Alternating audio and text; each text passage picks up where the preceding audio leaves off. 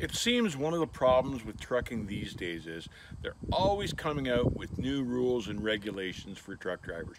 We're swamped with rules and regulations. Now some of these rules are obviously for our safety and they make sense. You can see the point in having these rules.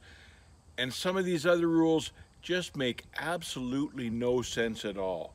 So when the commissioner for Seaport Securities came out with this new securement, for trucks in the ports. I just kind of shook my head. I don't know who I thought who thought it up, but they obviously think it's for our safety.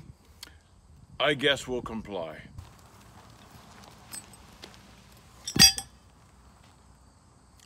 I feel safer already.